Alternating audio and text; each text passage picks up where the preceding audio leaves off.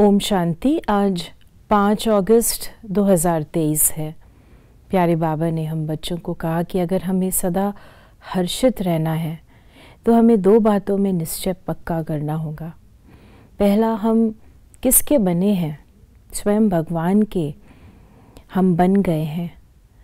और दूसरा, हमारा ये दैवी कुल सबसे ऊँचा, सबसे श्रेष्ठ है। प्यारे बाबा ने आज हम बच्चों को वरदान दिया।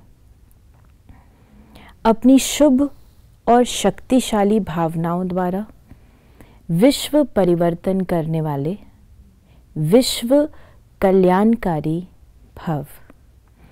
बाबा ने हमें विश्व कल्याणकारी भव का वरदान दिया है। विश्व को परिवर्तन करने वाले ट्रांसफॉर्म करने वाले। जब हम विश्व को परिवर्तित करना चाहते हैं तो इसके लिए धन की आवश्यकता नहीं। ऐसा भी नहीं कि हमारा शरीर बहुत ही तंदुरुस्त हो, या सारे विश्व में हम भ्रमण करें, सेवा करें, तभी हम प्रकृति और समस्त विश्व को परिवर्तित कर सकेंगे। लेकिन अगर हम विश्व कल्याणकारी बनना चाहते हैं तो हमें केवल अपनी शुभ भावना और शुभ कामना को निरंतर बनाना होगा। हमारी हर एक आत्मा के प्रति यही शुभ भावना है, यही शुभ कामना है कि ये आत्मा भी सत्य को पहचाने, उसे भी बाबा का सत्य परिचय मिले। वो भी अपने श्रेष्ठ भाग्य को जागृत कर ले। और हमारी श्रेष्ठ भावना, श्रेष्ठ कामना आत्माओं को ही नहीं, लेकिन प्रकृति को भी परिवर्तित कर देंगी। जब हम दुनिया को देखते हैं तो ऐसा सोच सकते हैं कि शायद मेरी शुभ भावना काम नहीं कर रही, क्योंकि दुनिया अभी बदल रही है, पूरी तरह बदली नहीं है।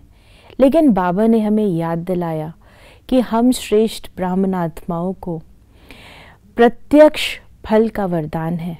अर्थात जो भी हमारे संबंध संपर्क में आता है या आएगा, उसे तुरंत ही, उसी समय ही, स्नेह का, शांति का, शक्ति का महसूसता होगी और इसी के द्वारा उनके अंदर परिवर्तन भी आता है।